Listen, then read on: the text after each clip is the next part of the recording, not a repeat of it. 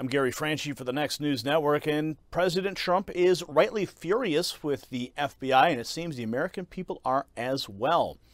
Reaction reports that Donald Trump has responded with fury to the FBI raid on his home in Palm Beach, Florida, in terms that suggest he will use it to whip up his supporters. The decision to authorize the operation will have been taken directly by the Attorney General and indicates the Department of Justice is stepping up its attempts to use the full force of the legal system against Trump as he considers whether or not to run again in 2024. Let's listen back real quick to Garland's comments about the raid.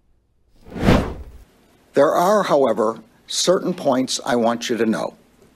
First, I personally approved the decision to seek a search warrant in this matter. Second, the department does not take such a decision lightly. Where possible, it is standard practice to